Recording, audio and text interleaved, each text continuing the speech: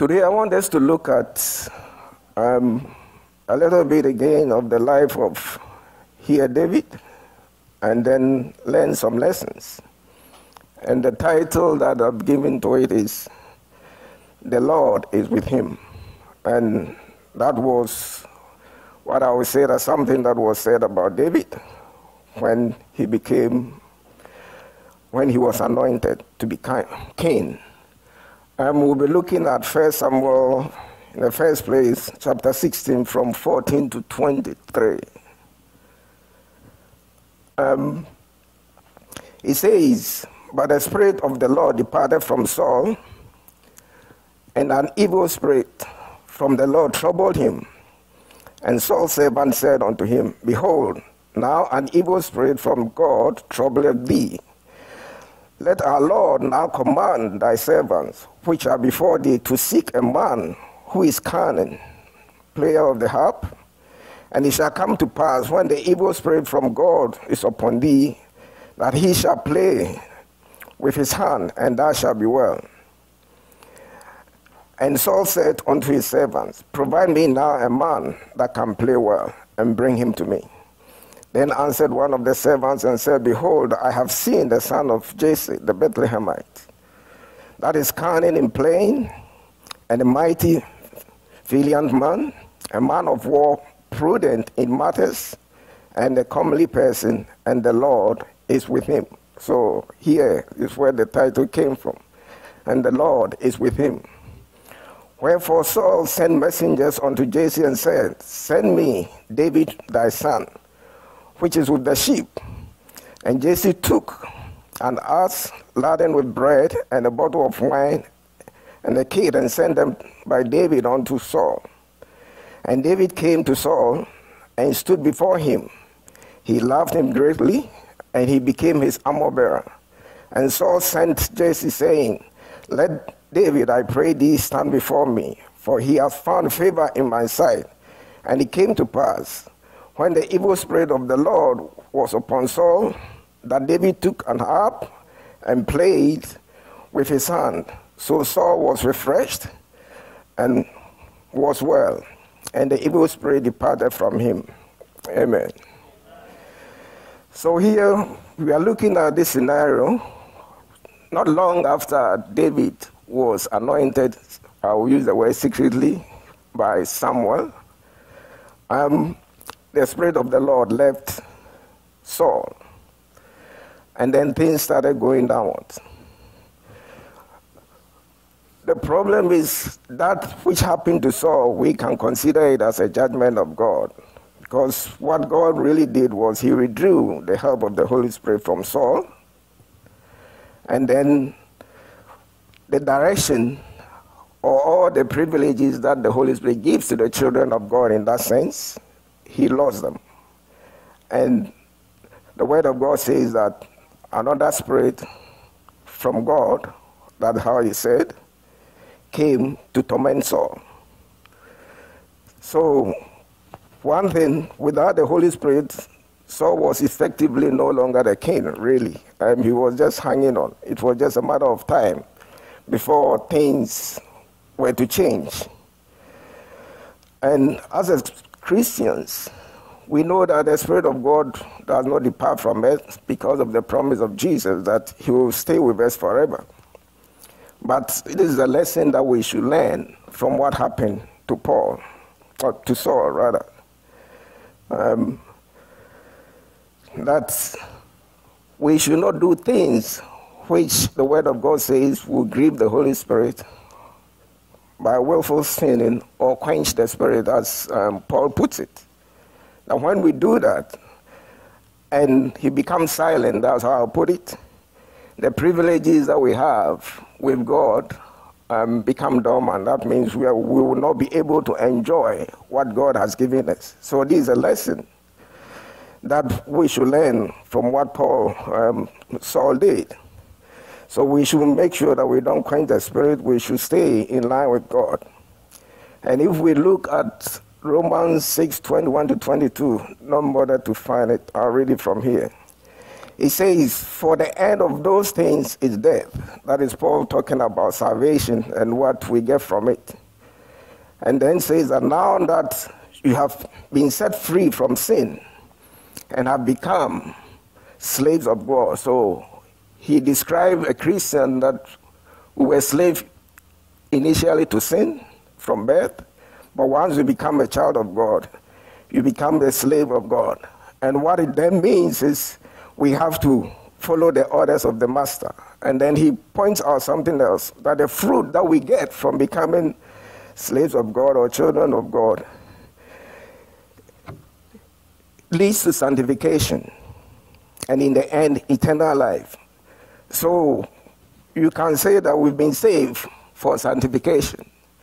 And this is what we've been saying all along. We cannot behave like the way the world um, does things. If you are children of God, God has saved us, but after salvation, it's a long process which is called sanctification. And if we want to put in another way, it says holy life, lead a holy life. Um, from the Old Testament side, the Holy Spirit was not necessarily given for salvation, but most of the time he was given to people to be able to do the work of God, those selected people. We see some examples with Othniel and Gideon. Probably I'll read that of Othniel, which is in Judges 3 9 to 10. It says, But when the people of Israel cried out unto the Lord, the Lord raised up a deliverer for the people of Israel who saved them.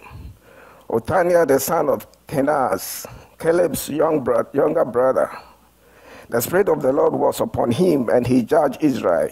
He went out to war, and the Lord gave Cushan Rithamiam, king of Mesopotamia, to his hand, and he prevailed over Cushan. So that is one example of it. We also see this in Gideon, that when the Spirit of God came upon Gideon, he was able to perform the assignments in the Old Testament. He goes and on and on and on like that. Um, so at that time, it wasn't necessary for salvation, but it was meant to empower people to do the work of God. I think that function is also still there in the current world. Our advantage is he dwells in us. He doesn't say that he comes upon us, he's already in us. Because the word of God says that if the Spirit of God is not in you, then you are none of Christ. So the Holy Spirit is here with us. And once that He is here with us, what we have to do, the lessons that they are giving us is we should not quench the Spirit. Um, when Saul did that with all his disobedience, what he ended up, the Holy Spirit left him, and then everything went the other way around. Um, and the evil spirit of the Lord came to him. And if one should ask, why will God send an evil spirit to come to um, torment or trouble Saul, um, as he said, what we should recognize that God using um, the messengers of Satan for his purposes is not new. If we look at the story of Job, Satan went to God, and then God said Behold, he's in your hands, but spare his life. And then he came and tempted Job several ways that is unimaginable, but Job stood his ground. We also see another scenario when um, Micah was telling the king of Israel that he should go to war and then he was going to win, and all his prophets were prophesying the same thing. And then at that time, King of Judah was visiting them, so King of Judah asked whether there's no other prophet in the land. And then the king of Israel said, Oh, there's one prophet, but he doesn't say anything good about me. So I don't want to call him. And the king of Judah said, I want that guy, bring him. So they brought him. And he said a different thing that he's going to lose. And then the king of Israel said, You see, I told you, this man never prophesied anything good about me. And then the leader of his prophets came and slapped um, slapped him, and then this is what he said. And Micah said, Therefore, hear the word of the Lord. I saw the Lord sitting on his throne, and all the hosts of heaven standing beside him, on his right hand and on his left hand. And the Lord said, Who will entice Ahab, that he may go up and fall at Ramoth Gilead? And one said one thing, and another said another. Then the Spirit came forward and stood before the Lord, saying, I will entice him. And the Lord said to him, By what means? And he said, I will go out and will be a lying spirit in, his, in the mouth of his prophets. And he said, You are to entice him, and you will succeed. So go and do that. So, here, what it means is when God wants judgment, he can use anything at all. He can even use the devil as a form of judgment. So, in that sense, what he was doing to Saul was a form of judgment, and that is here we have to recognize that God is sovereign and he does anything that he wants. But with respect to Saul's case, the purpose of it was, at least we can figure it out, and that is he wanted to bring David in. And the way to bring David in, David was so far away doing his shepherding stuff, and there was no way that he was going to come to the throne, um, to the courts. He has to learn how to be king, and there will be no training for him where he was. So that was a way for God to bring David in. So God intentionally allowed an evil spirit to torment Saul. And that is why we cannot second guess God when He's doing things because we don't really know um, the purpose of it. And if He hasn't revealed it to us, it's not something that we may know. And we cannot sit down and pass judgment on the work of God. Um, these things also even happen in the New Testament. I think I'll mention two of them.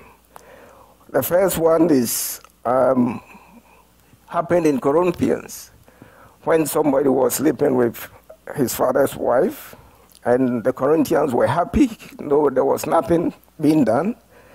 And Paul had to write to them in 1 Corinthians 5 4 to 5. He says, When you are assembled in the name of the Lord Jesus Christ, and, and Spirit is present, with the power of the Lord Jesus, you are to deliver this man to Satan for the destruction of the flesh, so that his spirit may be saved in the day of the Lord.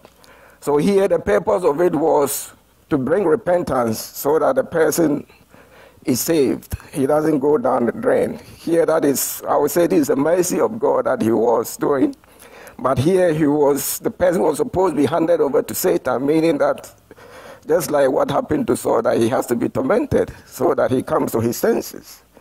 We look at a similar thing also in Timothy. And Paul wrote again to Timothy, in 1 Timothy 1 18 to 20, he says, This charge I entrust to you, Timothy, my child, in accordance with the prophecies previously made about you, that by them you may wage the good warfare, holding faith and a good conscience. By rejecting this, some have made shipwreck of their faith. Among them are Hymenaeus and Alexander, whom I have handed over to Satan that they may learn not to blaspheme. So here also is another form of, I believe is the same thing, so that they will not go astray. So at times God uses harsh means to bring us back. And that is when, if we admonish not to quench the spirit, we should try and we should listen. Because if God steps in, uh, maybe the way He would do it wouldn't be what we would like. And it also happened God allowed Satan to more or less tempt, if I can use the word, Peter. And as Jesus said, Simon, Simon, behold, Satan demanded to have you. Meaning that Satan said, I want to have Peter. And God said, Go ahead. And Jesus prayed for him that he might sift you like wheat. But I prayed for you that your faith may not fail. And when you have turned, you may strengthen your brethren, your brethren. So this is what happened here in this respect. And that is with Peter. The purpose of it was to strengthen him so that he would know that without Christ, he's nothing. That lesson will come in well, and then you'll be able to help other brethren. And it also happened, as the Word of God says, for our benefit. Um, so, if I should say we should give room for the sovereignty of God to act, and as Christians, we should not be frightened when certain things happen. Most of the times, when things happen to us, um, the first thing that we tend to think of, the devil is up to get me. The devil is doing. And the question now asks is, where is God then? God is your father, right? So if anything is going to happen, he should know it first. He must have known it even from eternity. So why are we panicking, moving towards the devil? The first thing we should do is to go to God. And then if it's a matter of repentance, fine, we go ahead, repent, and then come online. If it's not and anything, anything that God allows to happen, at least there is a purpose to it. So it's possible that our faith is weak and He wants us to rely on Him, whatever it is. I cannot, um, there are several reasons that could be. But the first place that we should get to when we run into trouble is we should go to God. Even before we do the other things that are demanded as human beings, there are certain things that we are supposed to do that God will not necessarily come and do for us. But in everything, we have to first take it to God. And just to bring this home, this is a lesson that Nebuchadnezzar learned very well when he thought he was, um, if I can say, he was the man, and God sent him to the wilderness. Uh, look, we'll uh, read it from Daniel 4 34 to 35. He says, At the end of the days, I, Nebuchadnezzar, lifted my eyes to heaven, and my reason returned to me. So when he recognized the sovereignty of God, God allowed things to come better for him. And he says, And I bless the Most High and praise and honor him who lives forever. For his dominion is everlasting dominion, and his kingdom endures from generation to generation. All the inhabitants of the earth are counted as nothing, and he does according to his will among the hosts of heaven and among the inhabitants of the earth. And none can stay his hand or say to him, What have you done? So, here, when Nebuchadnezzar came to recognize this, when God is acting, we have there's no business of you second guessing. That is uh, what he's saying. He does what he wants. And not only on earth, in heaven also, he does anything. So God can send Satan to come and do something, and then you cannot argue with him or complain that why are you doing this? Um, because he's God. And that is something that we have to recognize. And we being privileged, being the children of God, we have access to the throne because of Jesus Christ, the throne room that we can anytime go there, and the word of God says that we will receive help in time of trouble. So let us take advantage of this, and as we do that, let us also remember what the Lord has done for us.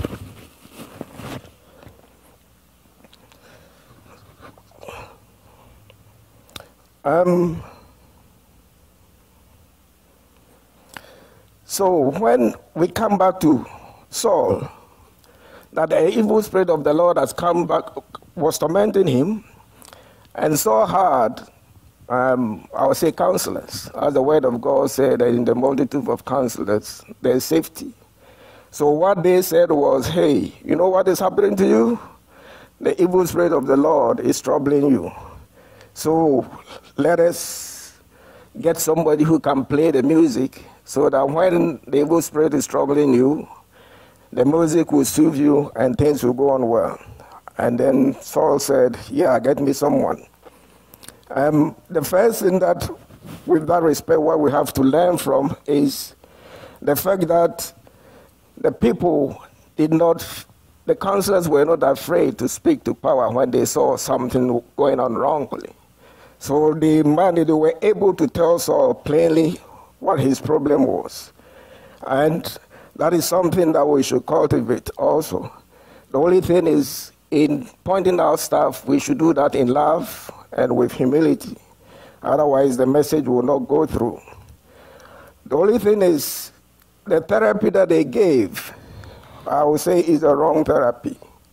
But at least that is what they said.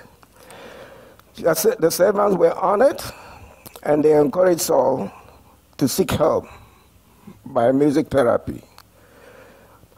All this, behind all this, God is, was working behind the scenes to bring David in, as we know. So, as normally said, that by providence, God arranged Saul's counselors to be there at the right time, and that particular person who made the suggestion were there at the right time. So, one thing also that we recognize here is God says that we can make all our plans, but He is the one who directs the steps. And the proverb puts it the heart of man plans his ways, but the Lord establishes his steps. So that is important. Always we have to be cognizant of the Lord. We have to make room for God. Because even when we put our plans together, um, God is saying that it may not necessarily happen, but even if it's happening, He is the one who is going to direct things um, for it to happen. And normally we tend to call that um, providence. So providentially, God was arranging for David to come. So at the point when it was suggested that Saul should seek music therapy, somebody was right there to say, Oh, I know somebody. David, the son of Jesse, he can play well, do certain things, and then David was brought in as we know it. But one question that we may ask is Saul was suffering, and they knew that his suffering was due to um, God sending an evil spirit and coming to him. So one would wonder why didn't they give the right remedy? If you have problem with God and God is punishing you, why don't you go to God and ask for forgiveness? Why didn't he seek repentance like David did? So, this is a lesson that we should learn. Why did he first go for the worldly remedy before consulting God? We can ask the question why didn't he reach out to Samuel and say, Samuel, irrespective of what I've done, go and plead with God for, for me, intercede for me? And then because that was the source of the problem. The source of the problem was God.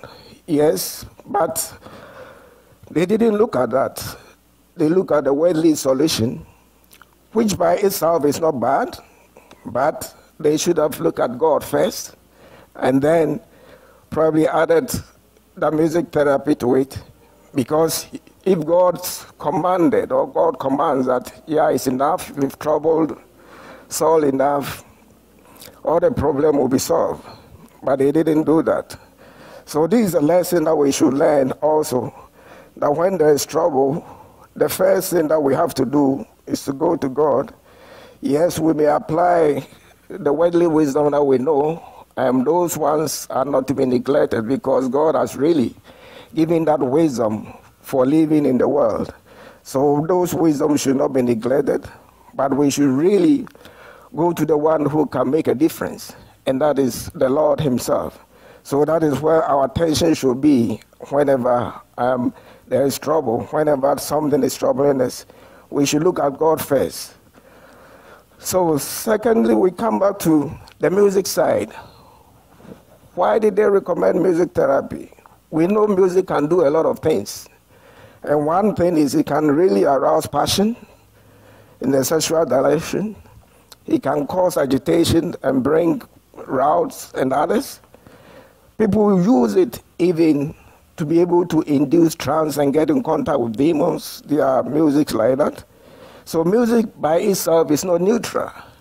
We also use music to praise God here and there. So music is not neutral. So in that respect, we should also be careful about the type of music we listen to or we enjoy. Um, unfortunately, it looks like the worldly music, the melodies are normally nice, so we get attracted to them. But this is something that we should look at and probably try to change our ways and go back to things, music which glorifies God. And also, music was used for good things. This Elisha used it, and this Asaph also used it. So I'll read Elisha 1. Elisha said, But now bring me a musician And when the musician played, the hand of the Lord came upon him. So the music is able to put you in a condition for you to hear better from God. So the whole of there is a good side and there's a bad side. So we should be careful the type of music we listen to. Um, also, the children of Asaph did that. It says that David and the chiefs of the service also set apart for the service of the sons of Asaph and of Heman and of Jeduthun, who prophesied with lies, with harps, and with cymbals, etc. So, here also, you can use music to bring you in line with God. And that is what we do when there's praise and worship which tries to bring us, put us in a condition to better hear from God.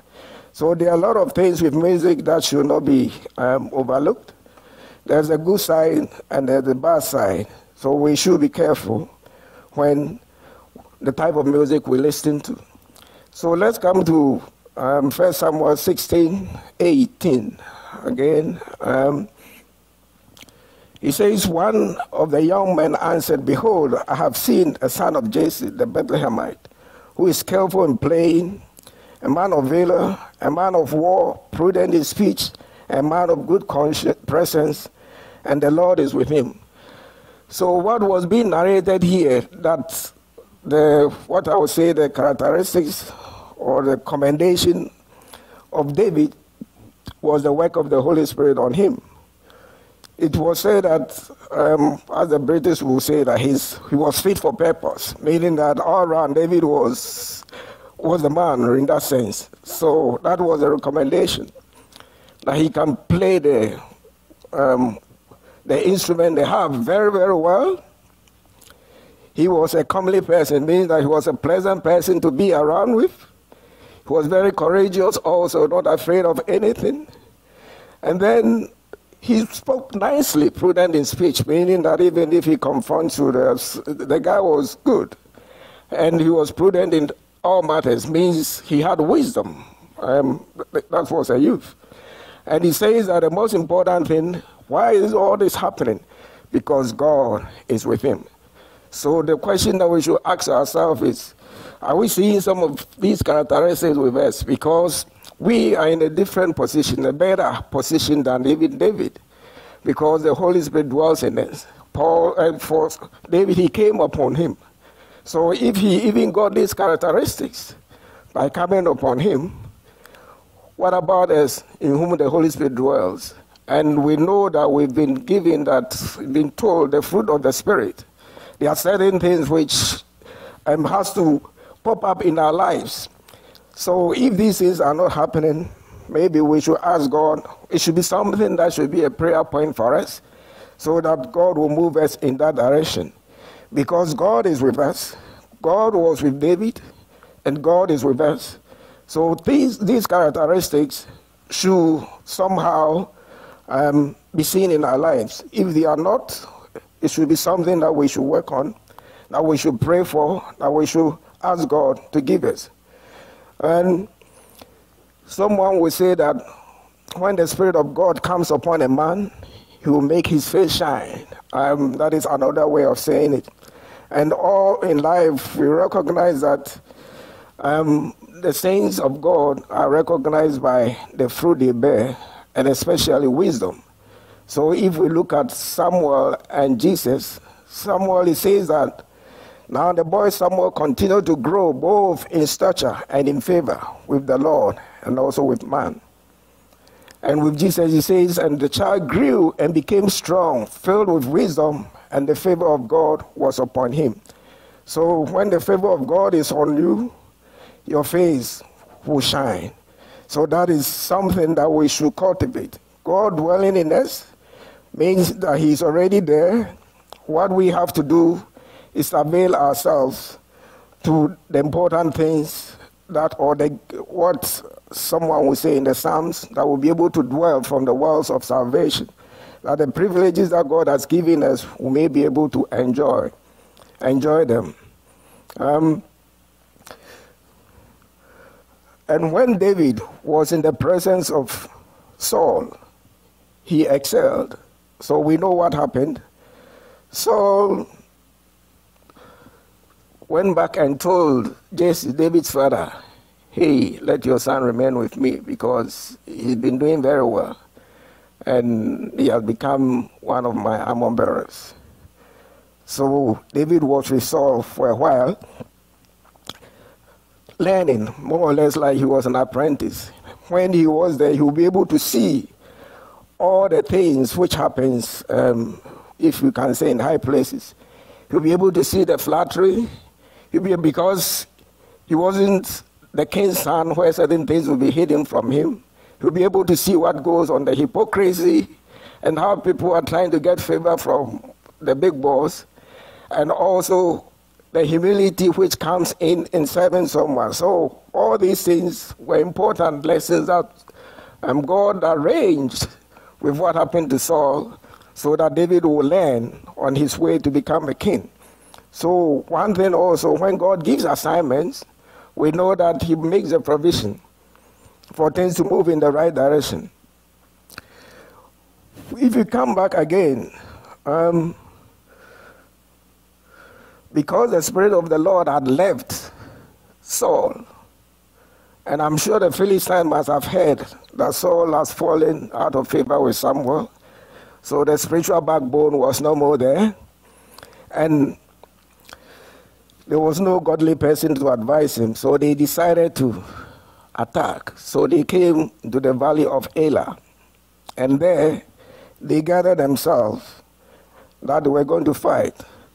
So one thing that we may learn from this is the enemy of the church, the enemy of the children of God, will take advantage when we dissociate ourselves from things that God has provided. When we don't commune with God, when we don't study the word of God to be in line, when we don't obey what we know God has told us, we give the, uh, the chance of the enemy to attack. So here, when Saul didn't have the spiritual backbone, the enemy, I would say, God allowed it anyway, but the enemy instigated the Philistines to come in and wage war against um, the Israelites. So when we neglect the Holy Spirit, when we refuse to do what God has commanded us to do, we can run into this trouble. So in chapter 17, we know that they gathered and Saul was forced also to rally the Israelites and gather. Unfortunately, here we don't hear anything that Saul consulted God in any way. Previously, he would have, but here nothing. He just gathered his people, and they were also camped somewhere along the valley. And we know what happened. Goliath came out every day, I think twice a day, for about 40 days, and whenever he came, all that he said was, Give me somebody who can fight me, and if the person is able to defeat me, yes, will be your servant. But if I win, then you'll be my servant. And everybody was afraid. Saul was in his tent, and what was he doing? He looked around and said, Okay, um, whoever can go and fight Goliath and win, or this is what I'll do for you you be exempted from all taxes. I'll give you money. And when nobody was coming for, he added, I'll give you my daughter um, as a wife. And still nobody came. And whenever Goliath came around, the Israelites will panic. So let's look at 1 Samuel 17, 10 to 11, and see.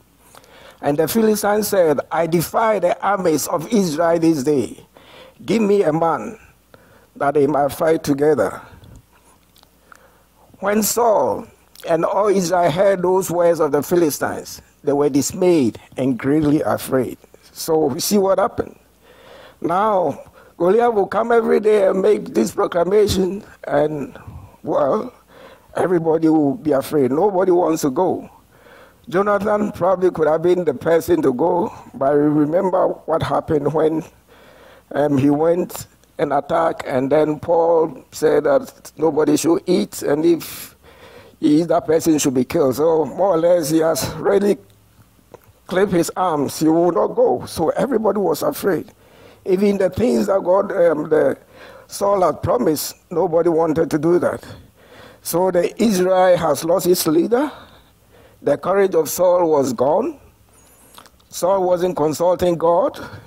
He was the first thing that he did was trying to rely on what I would say bribing and rewards for somebody to come forward and fight. He wouldn't go and fight himself. And then um, Goliath was there insulting them, telling them that they should bring somebody who can face him. And if that person is able to do it, then there will be their sermons. So let's jump to um, verse 21. And it says, For Israel and the Philistines had put the battle in array, army against army. And David left his carriage in the hands of the keeper of the carriage and ran into the army and came and saluted his brethren. And he says, And as he talked with them, behold, there came up the champion, this Philistine of Goliath, by name, out of the armies of the Philistine, and speak according to the same words, and David heard them. So here it is. We know that God was working behind the scenes providentially so when this war started, David had apparently gone back to his father. And because I think he was a youth, Saul didn't want to involve him. And what did he do? He knew he was supposed to be the king, but he went back to shepherd. He went back to the sheep. So his father was there, and his father said, Hey, David, you know your brothers, your three brothers are in the battlefront. And I want you to send, I want to send you to go and see them and see how they are doing and probably he was worried about them or whatever it is. So David was given provisions and then he set out and then he went. And when he reached there, and that's what we're reading here, he gave whatever provisions to the keeper and then said, I'm going to see what is going on here. Why these armies are arranged. Um, that time they will line up one there, one there, as if they want to fight. And when he went, he heard again what Goliath was saying. So, so he's heard a challenge that Goliath was insulting them, that they are cowards, they should bring somebody to fight. And this is here David has come in, and he heard it. And if I should read from 24 saying, All the men of Israel, when they saw the man, fled from him and were much afraid. And the men of Israel said, Have you seen this man who has come up? Surely he has come up to defy Israel. And the king will enrage the man who kills him with great riches and will give him his daughter and make his father's house free in Israel, meaning they won't pay taxes. And David said to the men who stood by him, What shall be done to the man who kills this Philistine and takes away the reproach from Israel? Who is this uncircumcised Philistine that will defy the armies of the living God? And the people answered him the same way, so it shall be done. So this is David. He's seeing what is going on. And there's one thing which is coming in here. When the Spirit of the Lord is upon you, the glory of God becomes important. So when he saw that, he was if I can use the word, he was boiling up. So the zeal of the Lord was stirring him. The Holy Spirit was stirring him up. And again, this was the work of God. He was positioning David to show something. I've sent you to go and learn how we behave as kings. You see the good and the bad. And now I'm bringing you to the battlefront. You were nowhere near it. Nobody knew we were going to come here. But when he went there, the Spirit of God upon him started agitating him, bringing the zeal that why would somebody defy God like this? And then everybody's afraid. What is going on here? Um, he was so much concerned about the honor of God. So if we look at um, it again, I think verse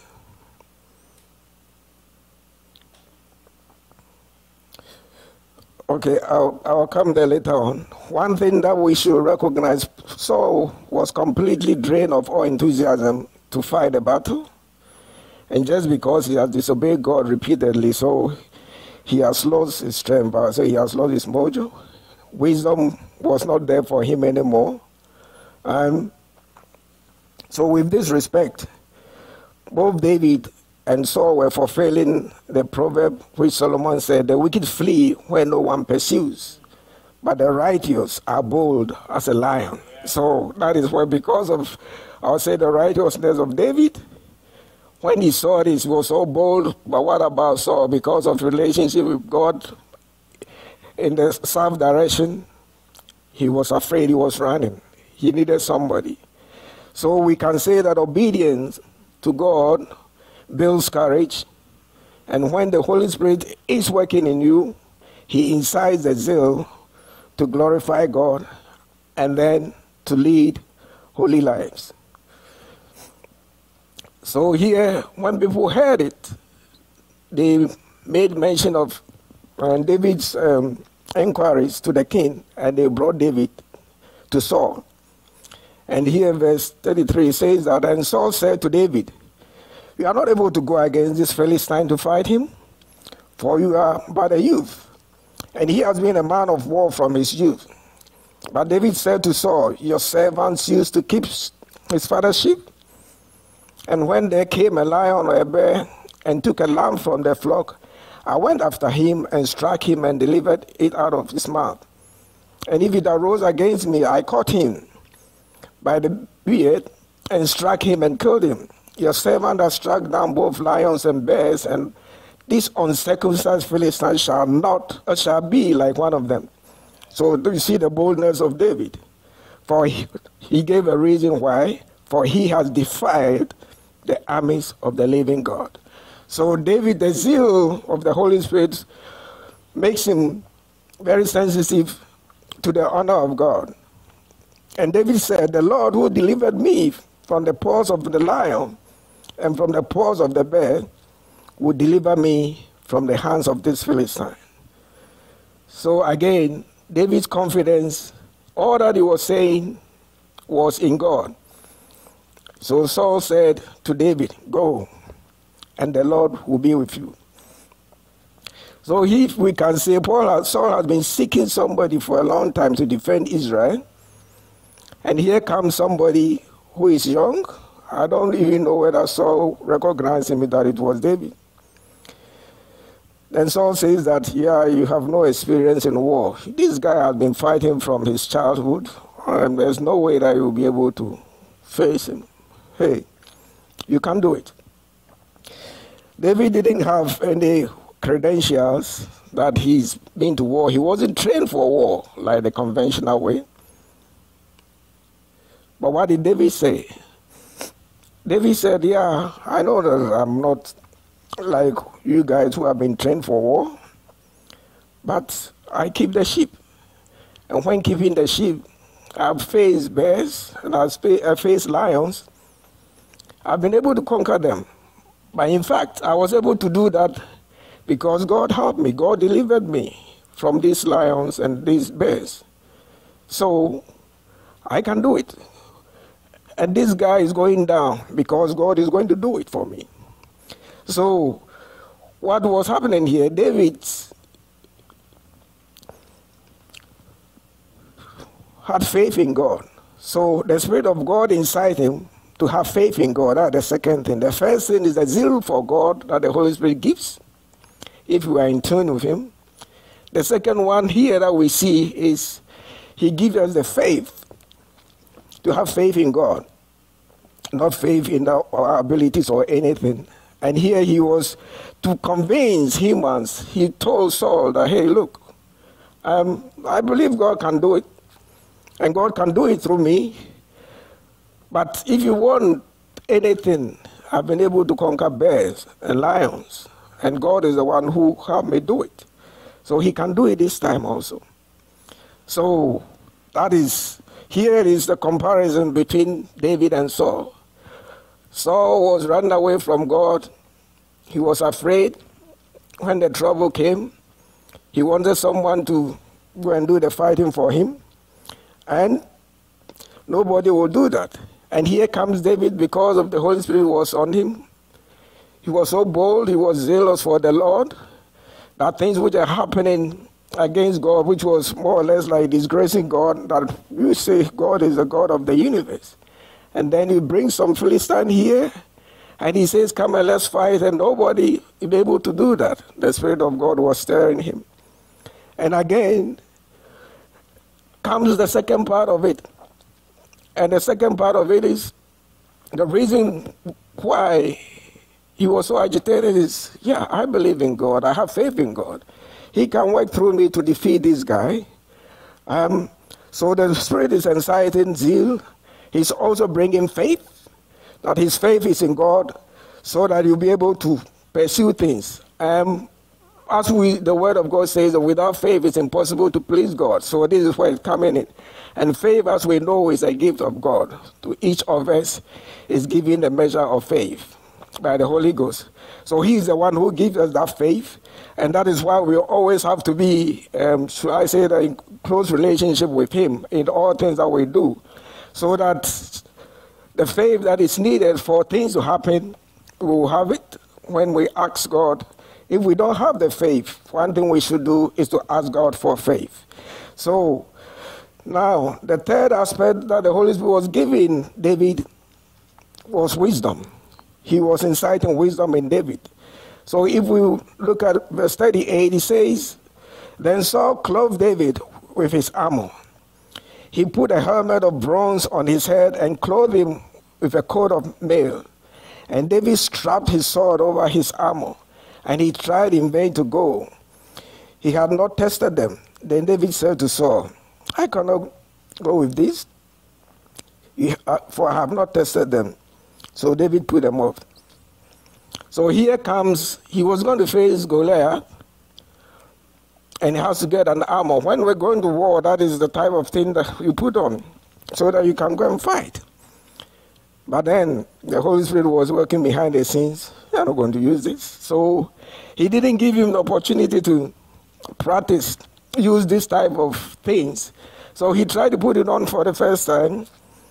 And he says that, no, you are not going to use this. So David was able to use wisdom that the Holy Spirit has given him to figure out that I cannot go to war. I cannot face the Goliath with the worldly um, garment that they've given to me. I have to do it the way that I know best. I have to do it the way that I've always done it, the way that God has helped me to do it. That's the way I'm going to do it.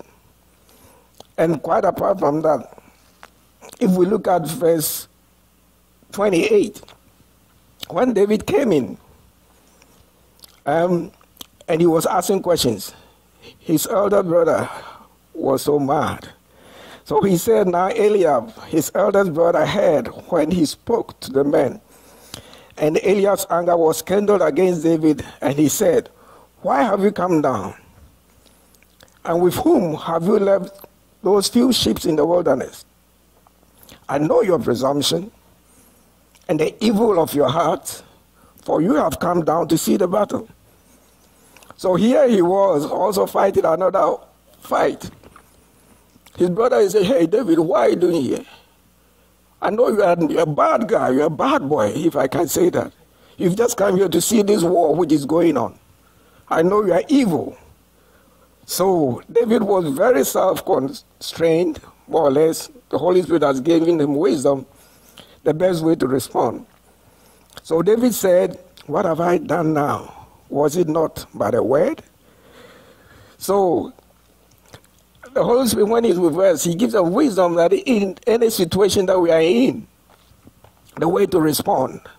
So he was able to respond. After all, he didn't have any beef with his brother. His character was being maligned by his brother that he was evil, but that was not what he was there for. That was not what was um, boiling in him. What was boiling in him is, was how can somebody defy God like this and get away with it and nobody can do anything? That was what he was in. So with the Holy Spirit was restrained from this error, the error of responding to his brother. There could have been a sibling fight right there, big time. But he didn't. He moved away. So that is some of the wisdom that the Holy Spirit gives. And when he was talking with Saul also, he talked humbly. He wasn't proud, just pointing out that God has used him in certain ways, so God can do the same thing. So he was relying on his confidence in God and the wisdom God has given him to move forward. Um, with all this, we should also come back and realize that we know that we, as children of God in this generation, we are better off than them. And if they could have, David could have all these characteristics, it means those characteristics are there for us. They are inherently there because the Holy Spirit dwells in us. And if you want the proof, um, Jesus said in Matthew 11, 11, He said, Truly I say to you, among those born of women, there has arisen no one greater than John the Baptist. So Jesus was saying that all the Old Testament people, John the Baptist is the greatest. And then he went on to say, Yet the one who is least in the kingdom of heaven is greater than he. So Jesus is telling us, hey, all those things that are happening in the Old Testament, there's only one person who helped them do that. I mean, things for God that we admire so much, like David we are talking about, and that is the Holy Spirit. And their situation was a bit different. We here, even the one a Christian, we, we say, uh, if I can use the word weakest Christian, we have a better advantage than them. So what it tells us is we have no excuse not to be able to, if I can say, overdo them. Because God has given us that provision. The only thing we have to do is we have to avail ourselves. And we can only avail ourselves if we are obedient to God. If we do not do our own things, if we put God in the first place, if we factor God in all that we do, if we do that, we can avail to such heights, if I can say that. And it all comes with our relationship with God, with our relationship with the Holy Spirit, so that He dwelling in us will be able to do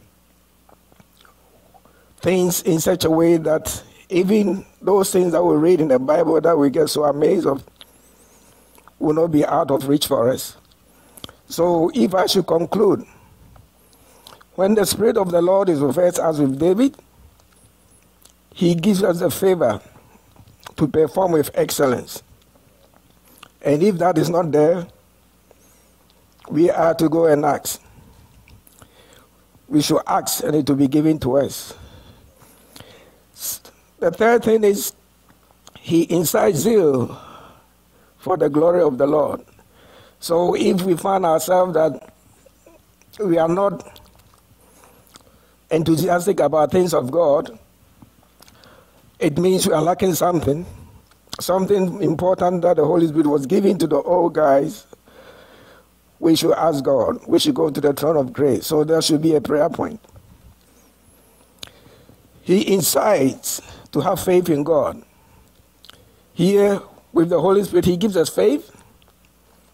And the faith is not faith for us to do whatever we want, but have faith in God so that we'll be able to obey Him and be able to do His will. And then He grants us wisdom in our daily lives. The way that we behave, the way that we react, every situation is different. But with the Holy Spirit, He gives us the ability to be able to do that.